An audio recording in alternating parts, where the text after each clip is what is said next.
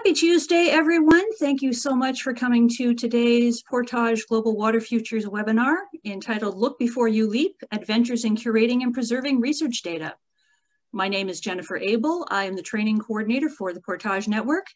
And I'd like to begin today by speaking from the traditional, ancestral, and unceded lands of the Coast Salish people, namely the Musqueam, the Squamish, and the Tsleil-Waututh. This is the fifth webinar in our co-presented series with Global Water Futures. This series aims to educate researchers and data professionals across Canada on research data management best practices and tools that are available to support them. These webinars will help participants navigate the evolving RDM landscape as funders, publishers, and the research community increasingly require good RDM practices. In today's webinar, we're going to be looking at data deposit and curation, which means making decisions now that will impact prospects for preservation into the future. How can we best prepare our data for a leap into the unknown? In this webinar, data curation expert Shahira Khair and digital preservationist Grant Hurley join forces to show how decisions made at the time of data upload and curation impact the ability to preserve data for the long term. We'll learn introductory concepts in digital curation and preservation for research data and how choices around what digital what data files to keep, the level of descriptive metadata, and other contextual information and the use of preservation-friendly file formats can help support or harm the prospects of data remaining accessible and usable later. A couple of housekeeping things before we start. You have been muted when you entered the room. This webinar is being recorded and the chat may be archived for those who are, are unable to attend. We encourage you to use the latest version of Zoom so that you have access to all the, the features, including security updates. But if you don't have it right now, wait until after the webinar to go and update. Please use the chat feature if you're having technical difficulties or have additional resources you'd like to share. And please use the Q&A option to ask any questions that you might have. We'll be addressing questions at the end, you can also raise your hand if you wish to ask a question. Questions may be asked in English or French. We do abide by the CARL Code of Conduct here, which you can find at the web address on your screen, which will also be in the chat shortly. CARL and the Portage Network are committed to providing a welcoming, safe, and harassment-free environment for staff, membership, committees, and working groups, as well as for participants, speakers, and organizers of CARL meetings and events. We do not tolerate harassment of any kind. Our presenters today for this webinar, Shahira Khair is a data curation librarian at the University of Victoria Libraries, where she supports students and research researchers in adopting data management practices and publishing their research data. She is currently seconded to Canada's new digital research infrastructure organization as a senior analyst to support assessment and strategic planning initiatives. Shahira also serves as chair of the Portage Research Intelligence Expert Group. And Grant Hurley is the digital preservation librarian at Scholars Portal, the information technology service provider for the Ontario Council of University Libraries. He oversees the maintenance of the Scholars Portal Trustworthy Digital Repository and coordinates the permafrost-hosted digital preservation service for OCUL members. Grant serves as a member of the CARL Digital Preservation Working Group and the Portage Preservation Expert Group. So you are in excellent hands in this webinar today, and I will now hand over the digital pixelated floor to Shahira and Grant. Awesome. Thanks so much, Jennifer. Just going to share my screen.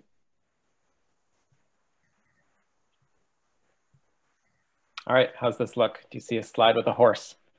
I do. Great. awesome.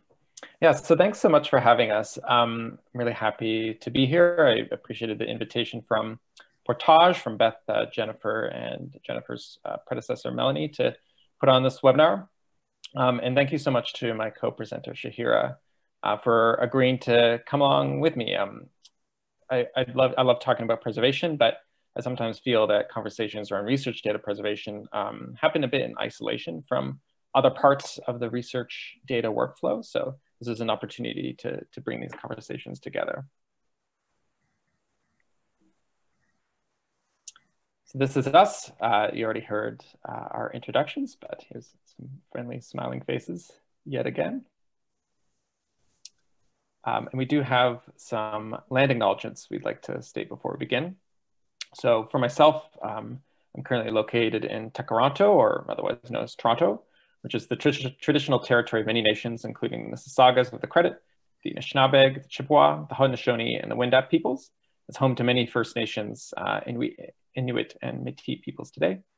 Um, and Toronto is covered by Treaty 13, signed with the Mississaugas of the Credit, and the Williams Treaty, signed with multiple Mississaugas and Chippewa bands. Hi, everyone. I'm speaking uh, from Victoria, which is uh, located on unceded Coast Salish territory.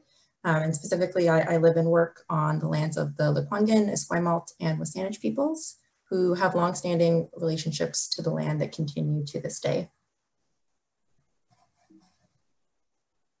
Okay, so here's what we're hoping to, to do today in this webinar. Um, first of all, we want to introduce you to some key concepts in digital curation and preservation and what these words mean, essentially. Um, and then the key part, understanding how choices made um, when you're curating data for deposit can improve or possibly harm the prospects of that data's uh, preservation into the future. Um, and finally, we want to identify small but impactful ways to improve the reusab re reusability of data sets both now and the future as well.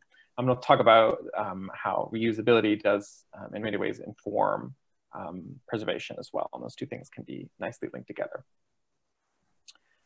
To start, though, I'm going to talk about um, this idea of like digital fragility. Um, essentially, I mean, there's lots of ways people talk about digital preservation culturally and socially. Um, sometimes we hear this discourse around how if you put something on the on the internet, it'll be there forever. Um, it'll come back to haunt you on Facebook or something like that. Um, on the other side, sometimes people talk, talk about like a digital dark age where nothing is going to be kept because of the instability of, um, of the internet and other sorts of digital storage devices. And the reality is somewhere in between. Um, so on the photo on the left, this is a picture of a five and a quarter inch floppy disk, which I imagine few of you are using today.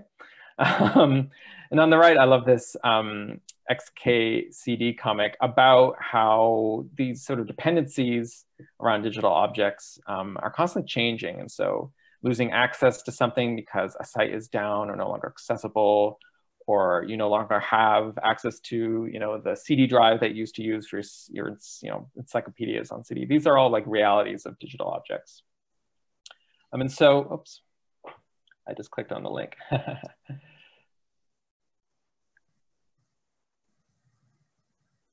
um, so there's this idea that overall though of digital fragility. Um, and it's, it's kind of placed in a few different um, areas in a way. Um, of course, we've got media that can um, degrade and age over time. You know, materials like floppy disks or hard drives are mechanical physical in nature. Um, and so they do age and eventually become unusable after a certain point. Um, and then there are these many layers of mediation between the physical data thing, like the, uh, the physical data object, wherever it may be stored, and you, the user. So we've got the storage medium, which again can be um, removable, like an external hard drive, a USB stick, floppy disk, um, or it could be on a network drive or located in some server somewhere. Then there's the operating file system. Um, after that are things like file formats and character encodings, software applications, and then finally like the display, we're actually interacting with that digital object. And all those layers require different types of maintenance. Um, you know, they're either updated and maintained or not um, by whoever has taken responsibility for them. Um, and the job of, uh, of preservation is to try and sort of navigate between all these different layers to maintain access to things over time. Um, the other side of it too is that digital objects can be easily deleted, which is a disadvantage. Um, it's like much easier to delete something than it is to like throw a physical object out in some ways. Um, they can easily be corrupted as well, either through transfer or aging storage media or some other you know, unintended edit. But the beautiful thing about them too is that they can be easily copied, so much more easily kept in different places than physical materials. And you can more easily check them to ensure that nothing's really changed about that object over time. So there's pros and cons to, to the digital world like anything else.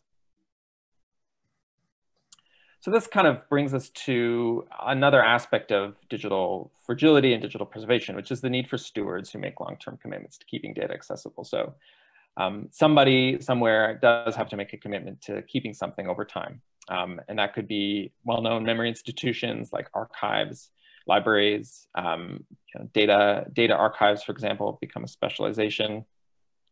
Um, but as well, you know, platforms like GitHub, for example, which maintain code um, and have taken a, something of a commitment to keeping um, at least that code available, if not necessarily usable over time. There are also broad definitions in the community around the role of responsible stewards, and these have been coded in um, the FAIR and trust principles, um, and spe specifically for research data. And we'll talk a bit about these a bit more, but um, the basic kind of takeaway here is that these sorts of um, sets of principles are starting to define what um, stewards should do over the long term and um, link them as well with certification standards like Core Trust Seal or ISO 16363, which actually assess repositories against a set of criteria um, for their ability to keep things, digital things alive over time. So I'll turn over to Shahira to talk about the RDM lifecycle. Thanks, Grant. Um, yeah, so I think many of you on this call would be familiar with the research data lifecycle, but for those of you who aren't, um, it effectively is a way to conceptualize uh, stages that data moves through as it's being managed over a given investigation, from the start of a project with planning and data capture uh, to the end of a project with uh, a publication of, of data or sharing, um, and then preservation as well. Um, of course, in reality, uh, these uh, are not always discrete stages. Aspects of these functions can be you know, non-sequential and overlapping throughout an investigation. Um, but in the context of, of, this webinar, we wanted to first uh, define where curation and, and preservation uh, fit into this life cycle, um, at least as in the context of this webinar, um, just so you can more specifically know what we're talking about when, when we refer to these uh, two terms. So next slide, Grant.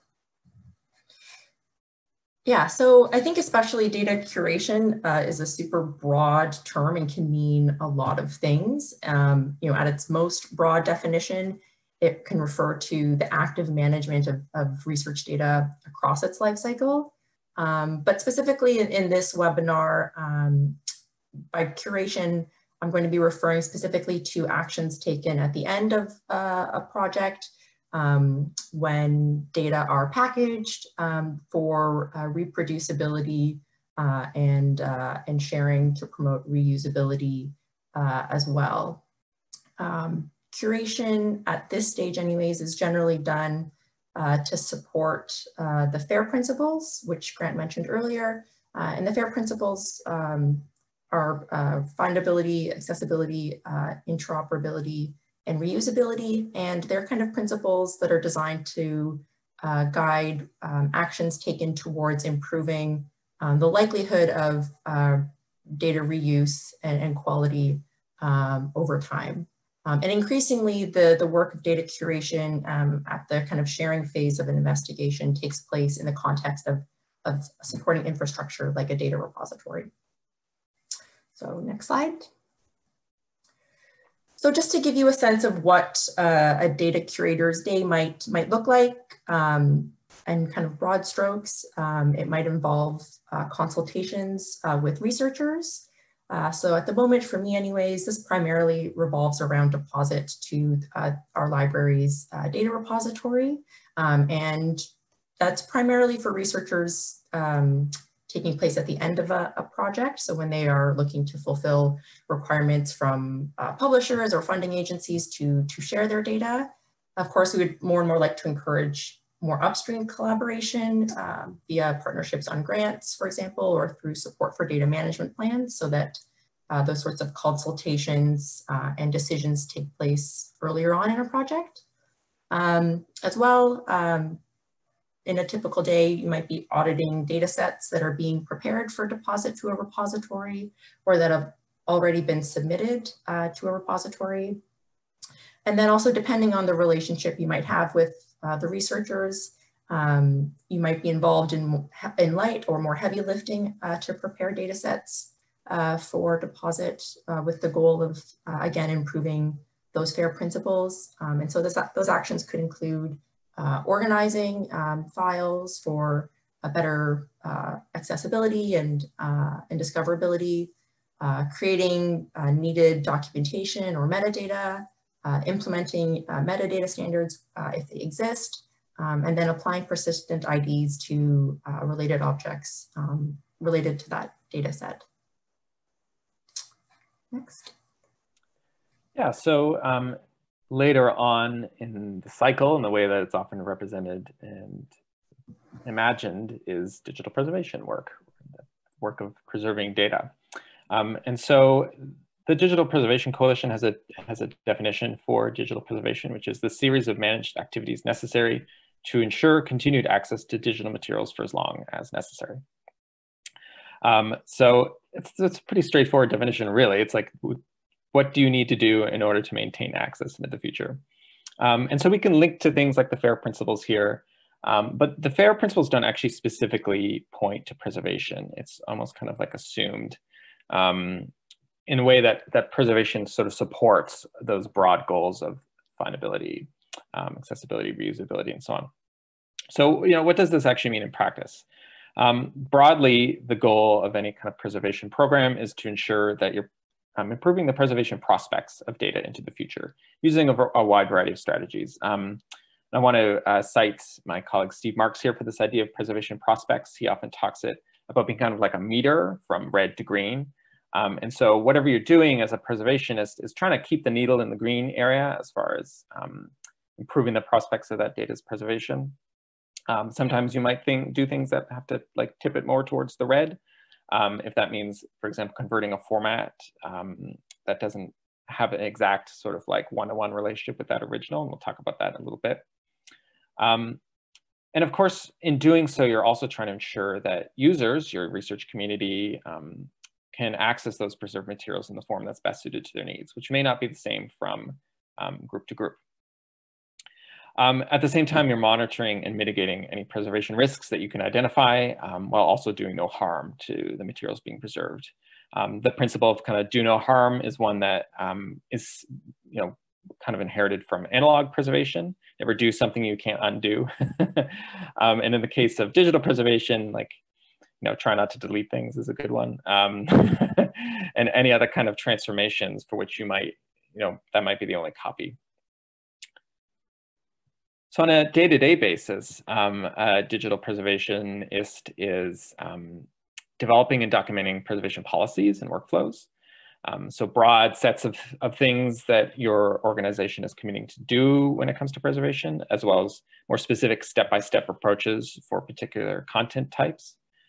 Um, they're creating and verifying checksums, which is sort of the like um, one of the key building blocks of any preservation workflow. A checksum is an algorithm that can be run against any particular file. It'll spit out um, ideally unique code. Um, and the beautiful thing about a checksum is that if you change the file, um, go in and edit it, um, the checksum will change. And so you can use these checksums and the records basically to validate files from one point to an next. So if I put a file in preservation storage and run a checksum on today, and I have that, I record that code, I run that checksum check again in a year or two years, five years, 10 years, and that checksum remains unchanged, the code remains unchanged, then I know that that file's retained integrity. So I can be assured that the materials have, have remained safe. So we're doing that all the time. Um, at the same time, we're gathering and structuring descriptive rights, administrative and technical metadata to inform and support preservation. So this is knowledge about um, things like file formats, um, any other sort of embedded metadata um, information about the context of files and how they could be made accessible and usable. Um, ideally, all this information is structured and kept alongside the materials that you're looking to preserve. Um, the example, the images on the right there, um, a file called passage.bk exclamation mark. What is that? Um, my Apple computer doesn't, doesn't know. Um, but using file format identification tools, I can find out that it's actually a WordPerfect 5.1 file. And then using other tools, I can actually open it up in a version of WordPerfect, um, which is to me super fun. um, so that's where we get into access questions as well. So migrating and normalizing files um, where required into different formats, both for preservation purposes and access purposes. So in the case of this WordPerfect file, um, you might be turning it into a PDF that's more suitable for a broad user, but some users may also want to access it in its original form. Um, and so that's when you use something like an emulation strategy, and I'll talk about that in a second as well. finally, um, you're thinking about storing your preservation package, the data that you want to keep, as well as metadata about it, in a preservation-friendly storage environment, um, ideally with multiple geographically separate copies um, that, again, are being checked with those checksums between them. There are also lots of um, interesting developing research areas and services around complex data objects, um, like emulation, software preservation, web archiving, all sorts of stuff. So there's lots of things to, to keep on top of. But these are three kind of key strategies for doing digital preservation work.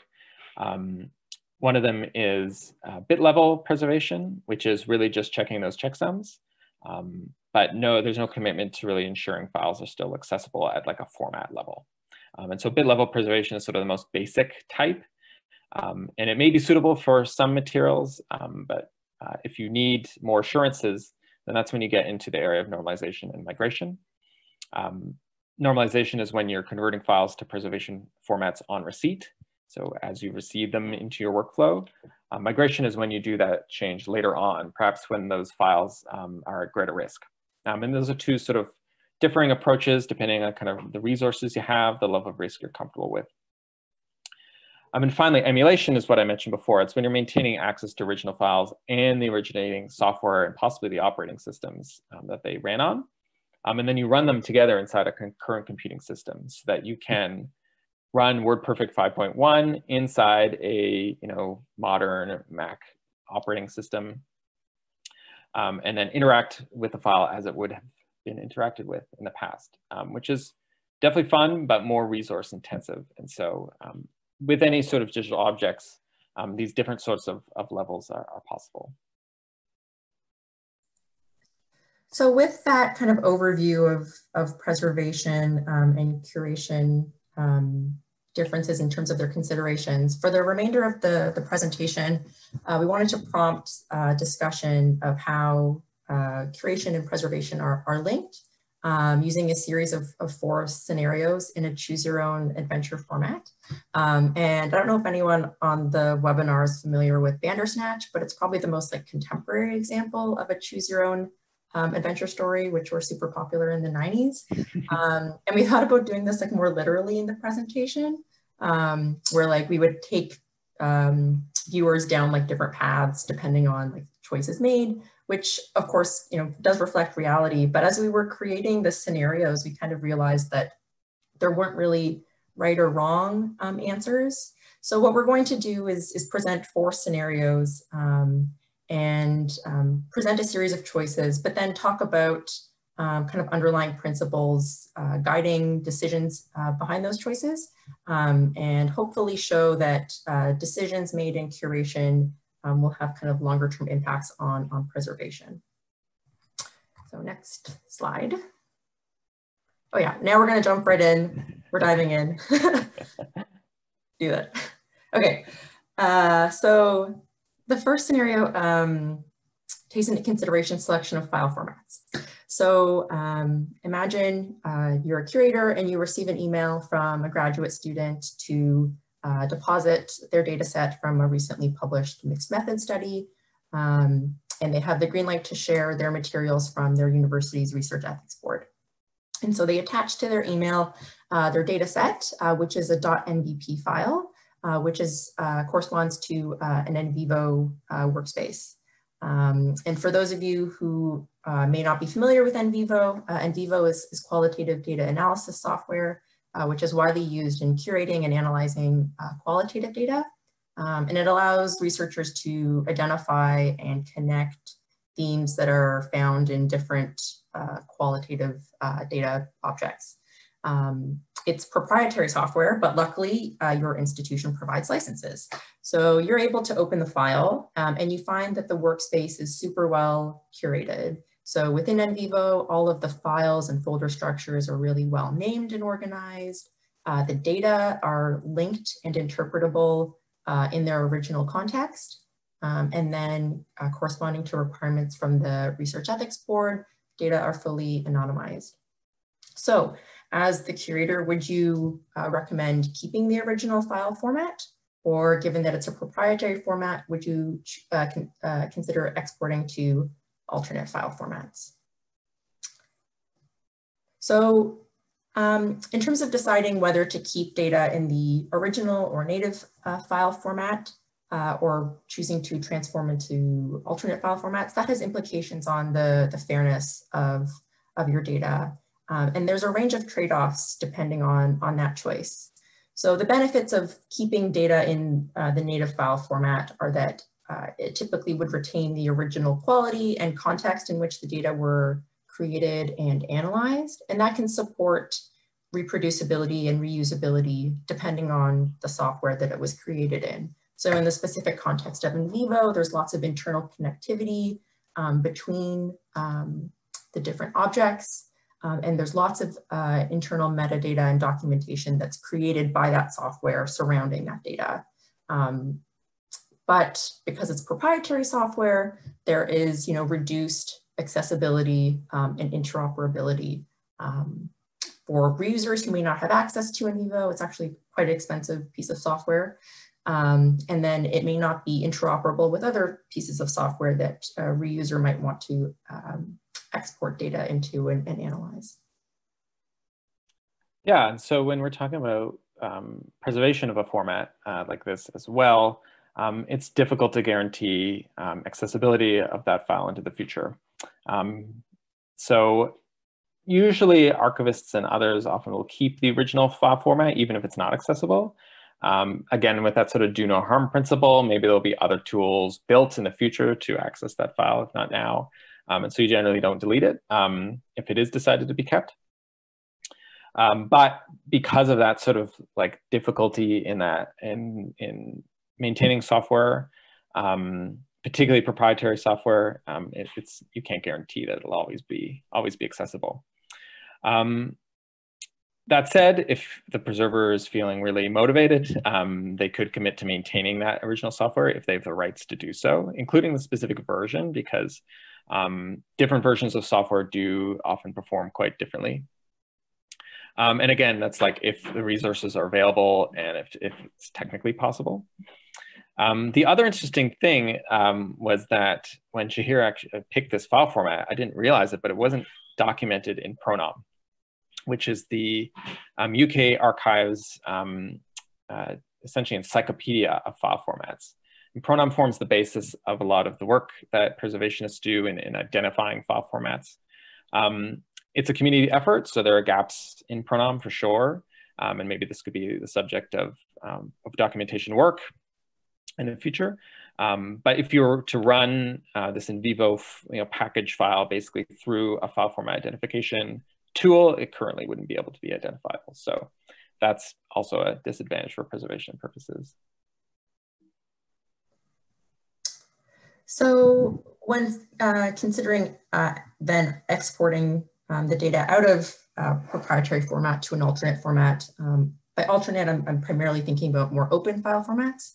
Um, again, there are uh, trade-offs and benefits to consider. So obviously there's benefits of increased accessibility, um, and that you know matters in terms of sharing data, providing more access to it, and, and more reusability.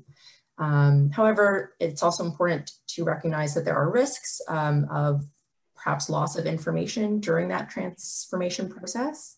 Um, and then just thinking back to all of the kind of contextualization and, and metadata that might exist within that um, proprietary software, um, it can be really time consuming to, to recreate all of that um, outside of the original software. And in some instances, it might not actually be feasible to, to do so. Um, on the flip side, so if you are you know, exporting to well-known documented file formats, uh, open file formats um, with consistent standards, it's much easier to preserve them. it just makes, makes life easier. So UTF-8 encoded CSV or tab files are like, great. So delightful. um, however, obviously, um, that's not always possible or practical. Um, ideally, though, if you were exporting to a format like this from a more rich sort of package like this NVivo package, um, you might want to um, document the originating software used um, to sort of like assist in that loss of context, at least to provide information to a future user. It's like, okay, well, here's how this data set in CSV format was created. Um, here's what some of these qualities might mean coming out of this originating software package. And at least they could um, make the link between those two things. Okay, so scenario two. Um, so during a consultation uh, with a faculty member who is very close to retirement, um, they bring you a flash drive which contains a 20 gigabyte zip file, uh, which they say contains 20 years of their data um, measuring nutrients in freshwater. Um, and so you uh, take that zip file, you extract it, um, and you find a dozen unnamed file folders that they tell you correspond to funded projects. Um, and then within each of those folders, there's hundreds of files, uh, many with multiple versions or drafts of those same files.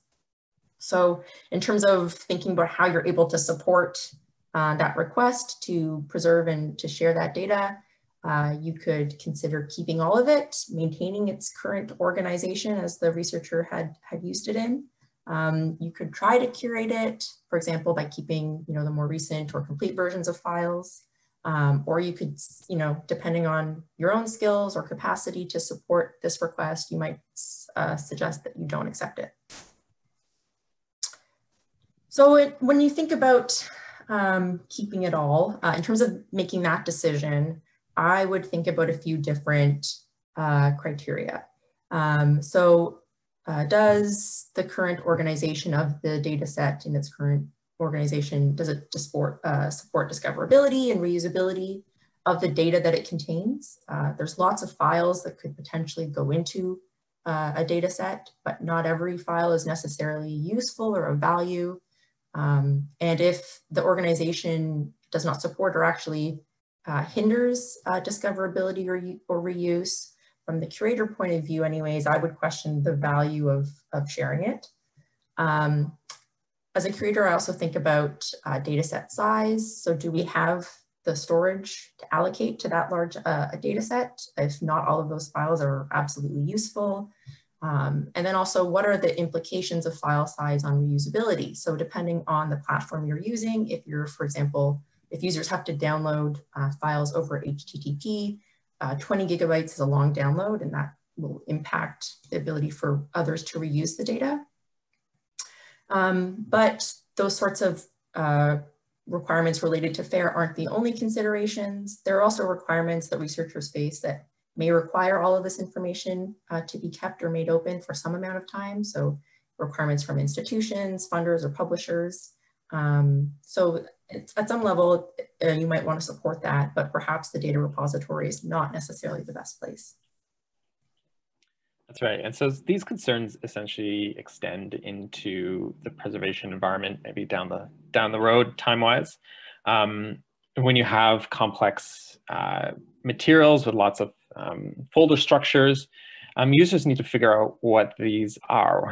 um, you can't presume they can just call up the researcher who may be long gone at that point and figure it out. Um, and we'll touch upon it a little bit later on, but there's this principle of independent understandability in um, sort of preservation standards and ideas where um, members of the community the, that the archive is designated as being able to access these materials should be able to, to understand them independent of the original creator or even the archivist who processed them. Um, and so, you know, with complex collections like this, you do have to put effort into documenting the structure and relationships between the files.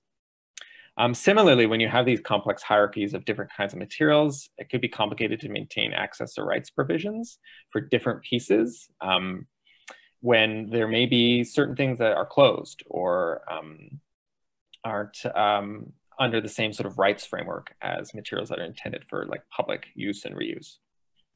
And similarly, of course, um, the more you have um, and the larger size of files both require greater amounts of preservation resources in terms of storage needed, a processing capacity, and then the human capacity too to just monitor all this stuff.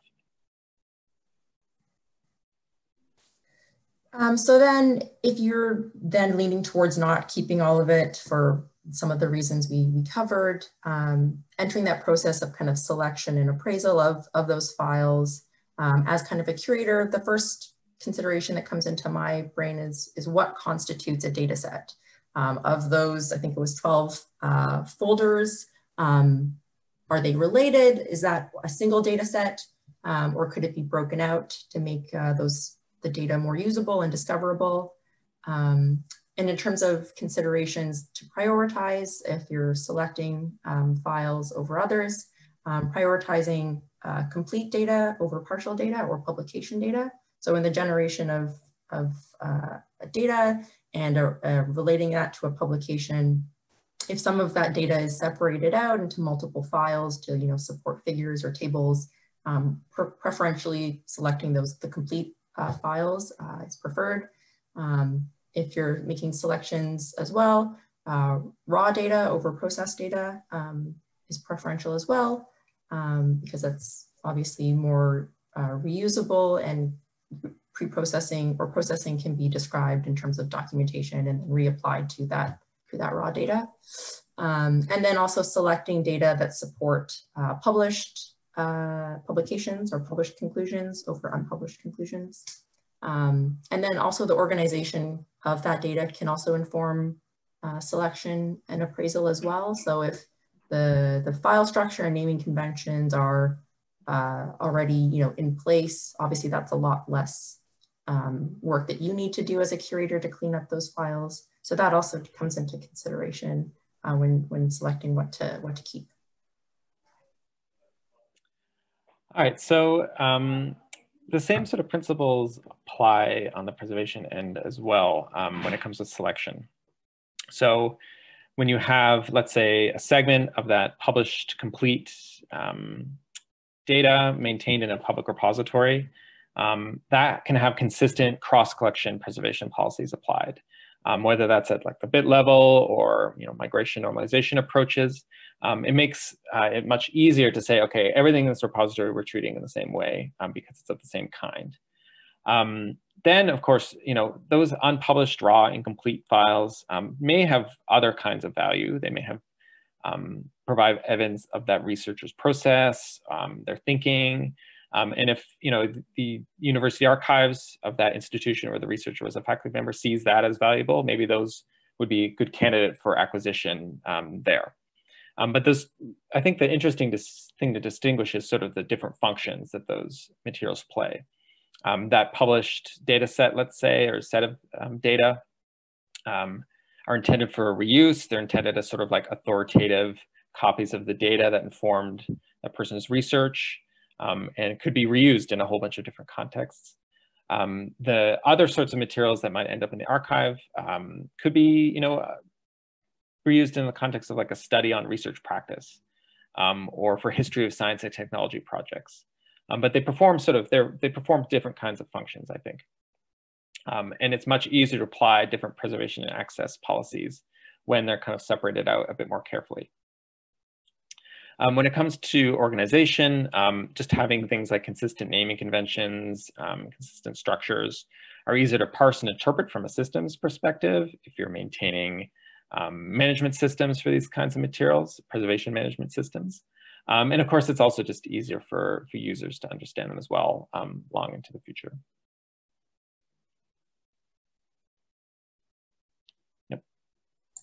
All right, sorry, I was on mute. Um, scenario three, so um, you are uh, the curator of a, a Dataverse uh, repository uh, and you receive a notification that a data set has been uh, submitted for review. Um, and the title is Replication Data for uh, Biodiversity Assessment of Canadian Wetlands. Uh, so you proceed to open the data set and review its contents. And what you find are four CSV files that are titled figure one to, to figure four.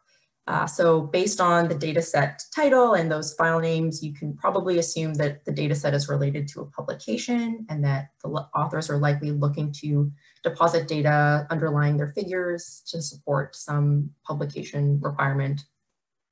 Um, there is no other documentation. Um, however, the variable titles in those files are moderately um, descriptive. Um, and then in the kind of covering metadata, only the uh, minimum uh, metadata, the required metadata are, are completed. So as the uh, repository manager, do you choose to accept and publish this data or do you return it to the author for more work? Um, and so yeah, as, as someone in this situation, um, sometimes it happens, um, it's a tricky choice, at least I feel that way, because on the one hand, Um, our institutional data repositories are there to support researchers, at least in part, uh, to support them in uh, complying with public publisher or granting requirements. And you don't want to impede that objective. You know, researchers are busy, they have a lot of work to do, and you know, they're just trying to, to meet these obligations. Um, but then, you know, as the, as the repository manager, you're assuming responsibility for a data set that does not necessarily fulfill the open science goals underlying those requirements. So it's a tricky balance of not trying to kind of impede um, someone's work, but also trying to improve um, the likelihood that that data can be understood and, and reused. So in terms of, of uh, if you were to return that data to, to the author for improvement, um, in terms of additional metadata that I would be looking for, um, this, in terms of the citation data, which is kind of covering at the, at the data set level, um, I primarily look for information that can support uh, discovery. Um, and then in this particular case, because it is probably related to a, a publication, um, the, the related publication should absolutely be referenced by its uh, persistent identifier, so the, the associated DOI, that should be absolutely included uh, in that uh, metadata, for one, because there's no other documentation provided in the data set. So hopefully that related publication can provide some of that, that context. Um, so they should be connected. Um, and then in terms of other uh, file level met metadata that you could request, there are three types to, to consider to support uh, understandability and reusability. So uh, there's descriptive metadata, which you know, describes the content and context of, of the data. So um, that would be uh, for those CSV files, for example, uh, variable uh, dictionaries. Um, there's also administrative uh, metadata. So that's information uh, needed to use the files. So for example, software requirements for uh, accessing those files. Um, then there's also structural metadata. So how do those different data sets relate to one another or do they relate to one another? um, that can also help support um, understandability of, of those files. Um, and the wonderful thing is that we need all these things ideally um, in preservation management systems as well. So if they, they exist already in the repository from which we are pulling packages for preservation, ideally that information will then flow um, quite seamlessly into the preservation repository. Um, and in the preservation world, we have um, two interlocking standards called METS and PREMIS, which is uh, both XML-based standards that are designed to hold this kind of information about digital objects that you're looking to preserve. I mean, preservationists commit to maintaining both the digital objects you want to keep, but also the metadata about them, because that context obviously is extremely important. So um, it, all to say is if this information exists, it makes the preservation likelihood much, much greater.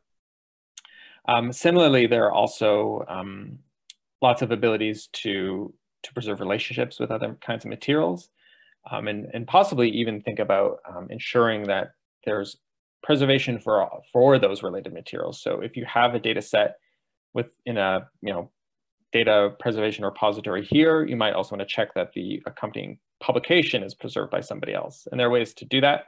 So if you're aware of these relationships between objects, um, those can be documented for preservation purposes as well.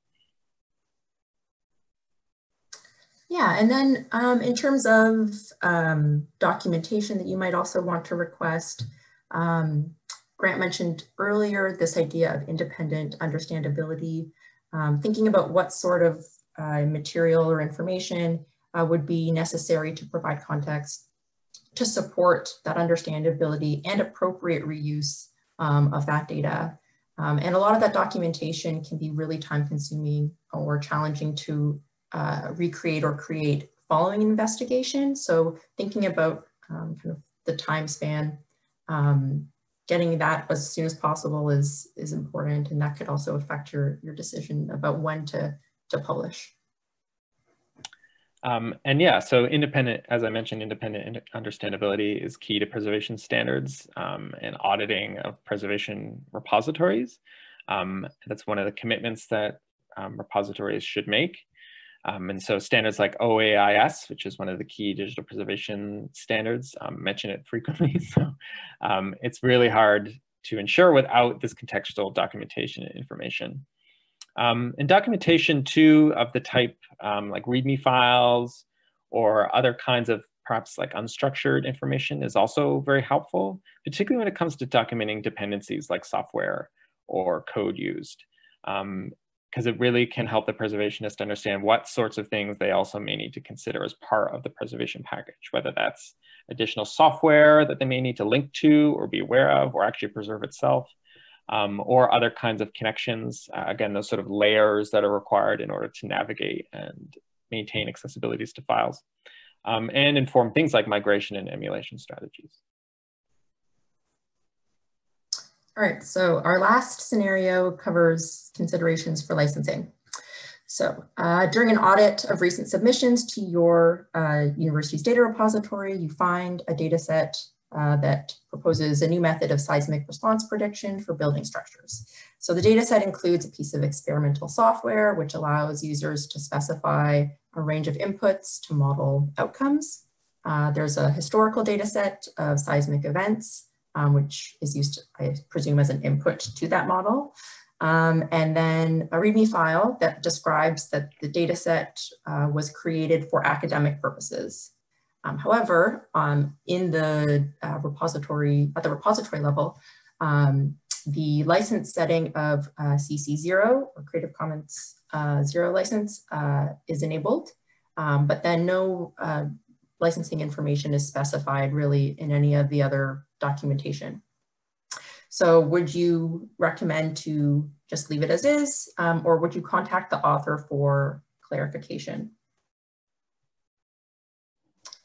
Um, and so um, because there is kind of that inconsistency where in some of the documentation, it talks about the, the software being created for academic purposes, um, and you would think about um, what sort of support do you want that license to confer to uh, both creators and, and reusers uh, of, that, of that data.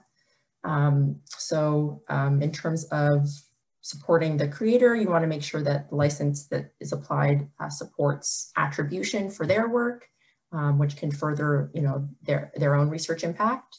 Um, and the license should also be, uh, should specify any uh, limits that need to be imposed on reuse and distribution of, of that software for for reusers. Um, and then licenses can also manage risk and liability for creators. Um, so in this specific instance, um, it's uh, the data set contains software that could have some industrial application. Um, and even though the README states that it's created for academic purposes, that, that might conflict with the CC0 license that's been left on.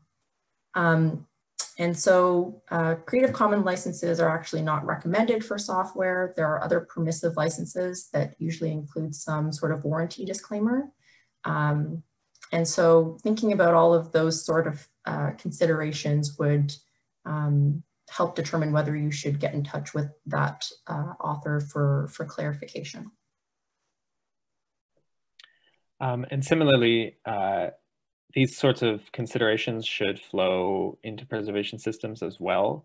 Um, ideally, access and other kinds of rights-based issues should be documented in preservation systems. And there's a component of the digital preservation metadata standard um, um, called PREMIS, which I mentioned before, which has a rights piece that um, lays out the structure for how you're actually supposed to keep information around rights. Um, and ideally, these things um, would be monitored over time um, and acted upon um, as required. Um, similarly, ensuring that these things are documented is a key part of repository certification standards. So if there isn't awareness uh, about rights management um, in relation to particular data sets that are being preserved, it is difficult to meet, to meet those basic certification standards. And then finally, in terms of thinking about licenses, I also think about uh, what rights I have as the data or the repository administrator. Um, what rights do I have um, in relation to, in, to the data sets? Um, and those aren't necessarily always applied at an individual data set level. Those can be applied, um, say, in the terms of use for the repository or in any sort of policies that you've created um, that uh, depositors have to comply with.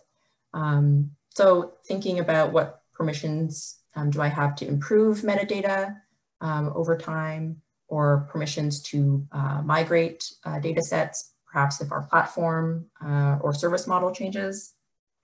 Um, and then also permissions for future deselection. So um, storage is not infinite. Um, what sort of uh, ability do I have to uh, deselect uh, or choose not to retain that data in the future? Yeah, and so these considerations don't go away with preservation either. Um, as somebody responsible for you know preserving digital collections, um, I do often need permission to migrate formats um, and perform other kinds of preservation functions. And normally you would find um, these sorts of terms in like terms of use for certain repositories. Um, that tends to be where it's covered, but it could be indicated elsewhere as well. And a key area that's sort of touched upon by this scenario is that um, if there's software um, that's a dependency that could be used for like an emulation strategy, um, that would have to be truly you know, open um, and available for future use by anybody um, for preservationists to use it, let's say to present both the data and the software together in like an emulation environment. So um, there are these sorts of, of considerations that preservationists have to make to say, okay, are we permitted to make changes to files, to serve things um, up to users in certain ways um, beyond just like access rights um, to make things available, available broadly. All right, so we've reached the end of our adventure. um, some takeaways. These are just some some summaries that came to mind from the two of us. So we talked over these issues ourselves. Um, one is that the principles of reusability really do broadly support preservation. Um, the two are obviously connected. Um, and ideally, um, thinking about reusability, reusability in an intentional way does assist in preservation down the line. Another is that putting the effort in at the time of deposit and creation really ensures that that technical debt is not deferred to a point where it can't be easily repaid.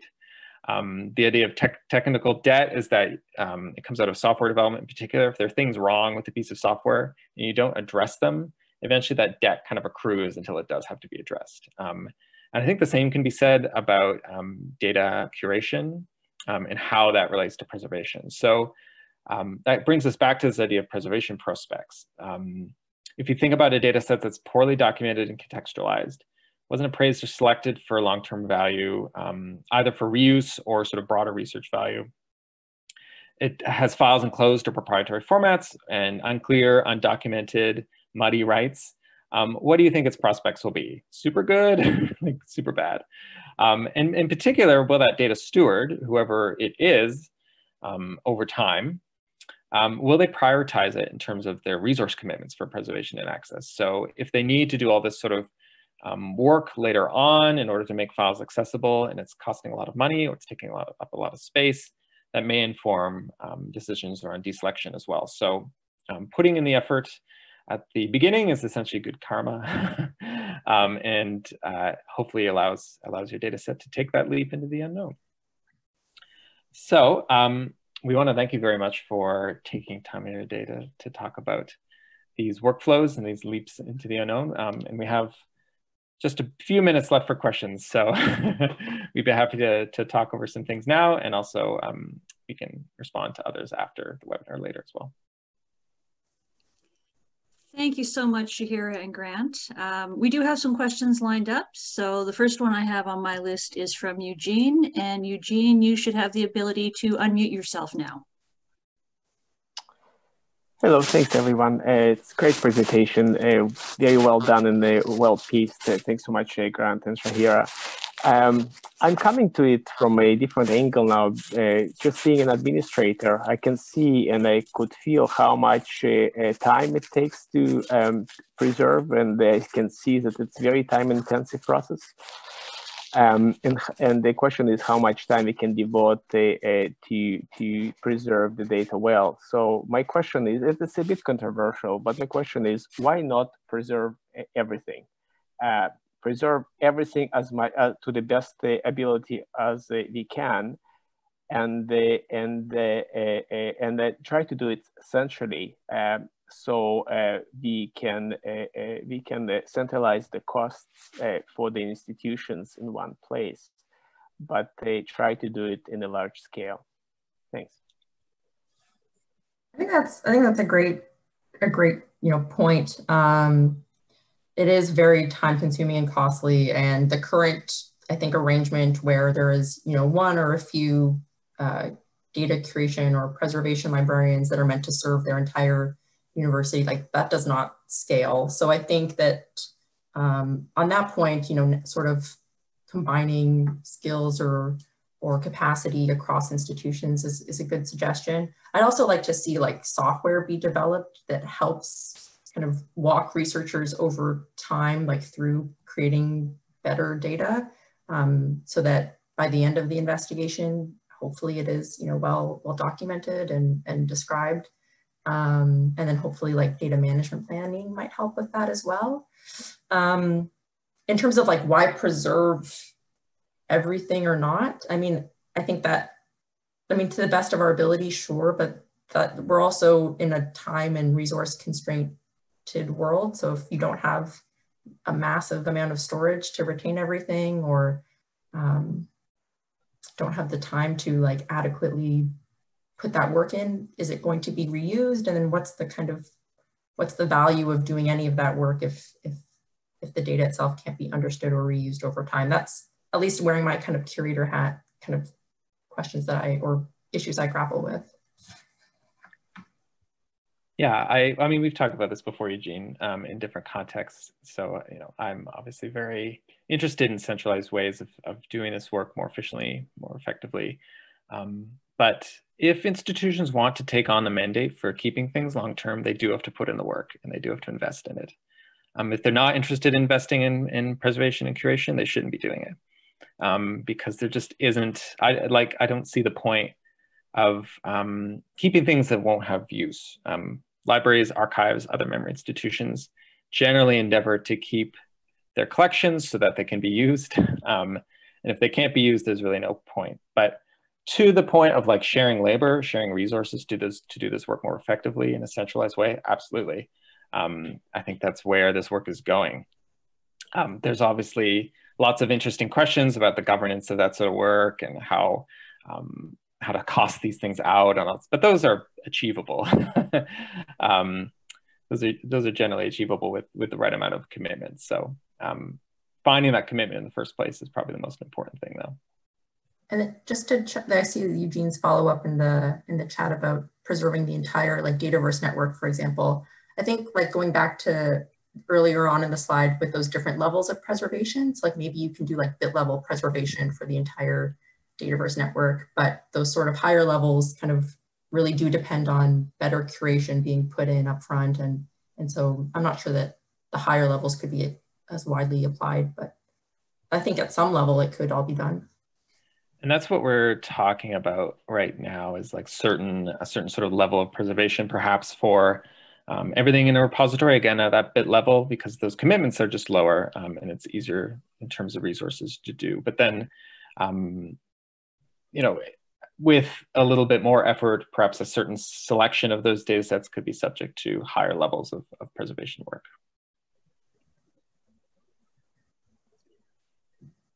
Okay, thanks so much for that. Um, a question from Tim Vines. How often does preservation require multiple migrations to new software formats? That's a great question. Um, also, I'm so glad you're here. I really loved your your early sort of work on this subject area.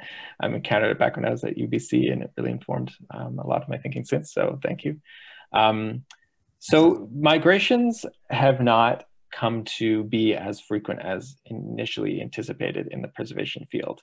I mean, in part because um, people are generally starting to use more widely documented and used um, and open formats. Um, so in our um, journals repository, for example, most of the materials that we have are in PDF or XML form. Those are great for preservation purposes. Um, they're widely used. I don't anticipate needing to migrate. Um, it's when you get into more complex um, uh, materials, particularly materials that are already out of date or obsolescent, basically, the, um, something like WordPerfect, um, not widely used, pretty easy to open still, but you know something you would want to consider migrating um, for, for at least for access purposes. Um, and those materials with lots of dependencies are the real um, sticky ones. Um, things like databases um, in particularly databases created in proprietary software formats. Um, other sorts of complex objects like video games, which are difficult to like port from one format to another. Um, that's where the, the sort of work is happening now.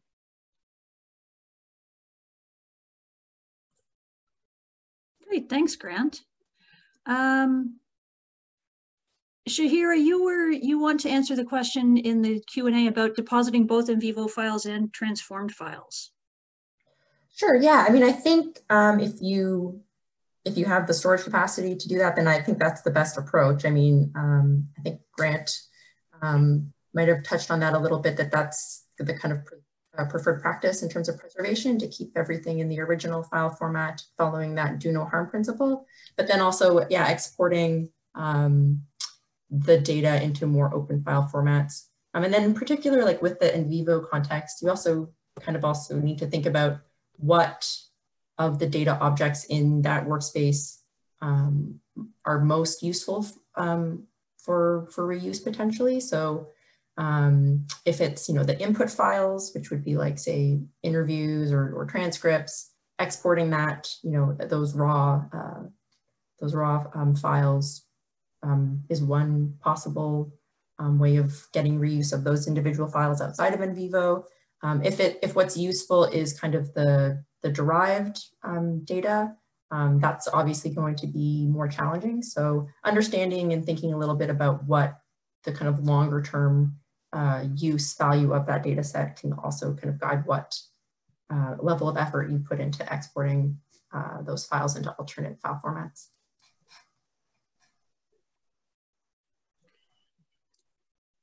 So something that uh, got a couple of questions going, a number of people, um, was scenario two about the retiring researcher. Um, the questions range from, is there anything that can be done from the policy level so that this type of scenario, we keep it all, but how can the data be useful to others, especially the person who's leaving, and then, you know, you get all these files, but you can't do anything with them? Could you hire students and train them to do the file naming work? I think the big question here, summing all of this up, is how do we intervene with faculty to get these processes happening sooner? Can we do that? I think I think we can, and I think it does take policy. So I'm, you know, hopeful that as you know, researchers are going to be required to share more of their data, whether through you know institutional policies or uh, or uh, journal policies, that over time there will be just better data management, and then that sort of uh, like that will trickle downstreams so that when they reach retirement, their data are well organized or maybe already shared. Um, but at the moment, um, I think, yeah, having some sort of like program where researchers can meet with you before they retire, like ideally many years before retirement. More than two weeks? Yeah, more than two weeks. um, that's a tight deadline. Um, yeah, and then providing some of that sort of data rescue support, I think is of value. Um, there's a lot of really valuable data that's been you know, collected in, in older digital formats or non-digital formats that could use um, or benefit from, from library support, but it takes time um, in establishing that relationship with the researcher. So I don't think that just hiring students could be necessarily the answer because it takes the knowledge of that researcher to really make uh, that, that data well described and, and reusable.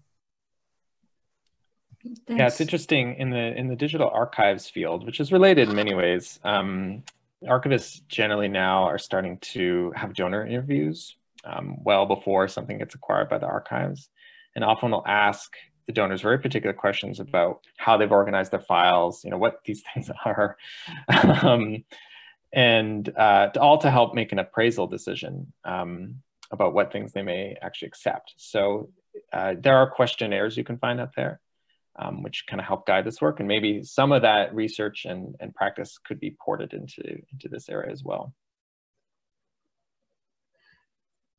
Great, thanks. Uh, just a couple more questions and then, uh, and then we'll wrap things up.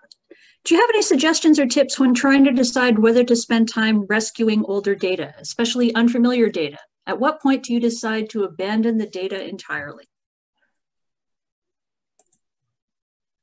It's a big question. Um, I think it's going to be like context dependent. Um, and then also based on your own skills and capacity. So if you have experience in that research area, obviously that sets you up at a better advantage to, to do some of that heavy lifting.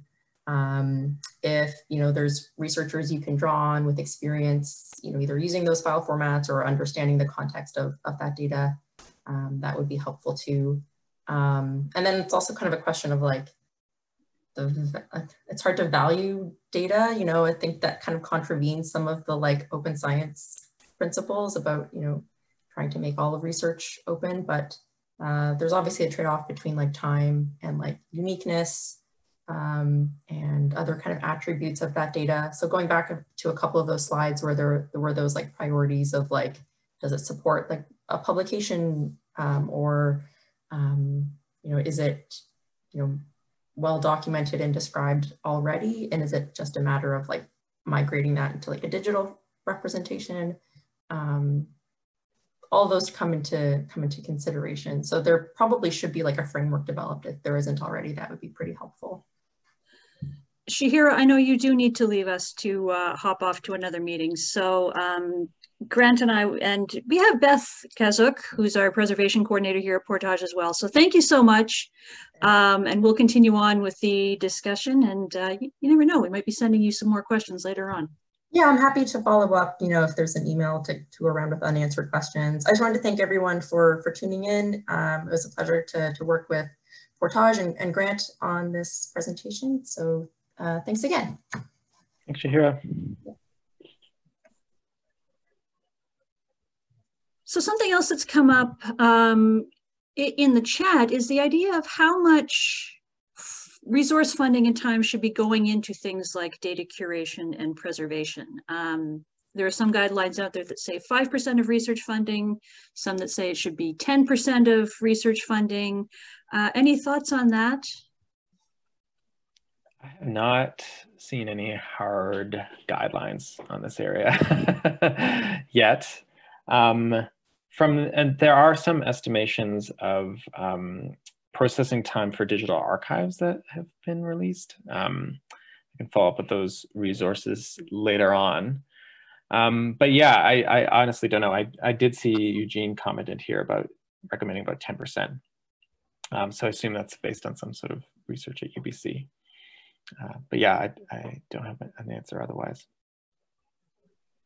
That's okay. No, I wonder if uh, that would have been a really good question for Shahira just before she left. I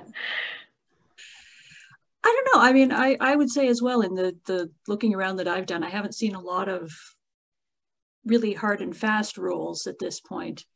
Um, I mean, we do know that funders will provide money for these kinds of things as long as they are included in the budget.